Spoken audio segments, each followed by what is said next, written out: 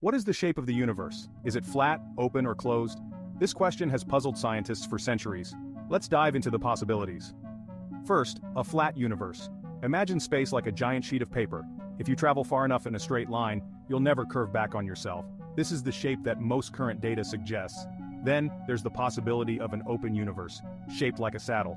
In this model, space curves outward, and as the universe expands it continues growing forever, becoming less and less dense over time.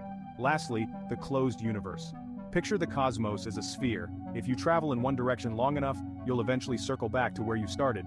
In this scenario, the universe could eventually collapse in on itself. Thanks to measurements of cosmic background radiation, we've learned the universe is very close to flat.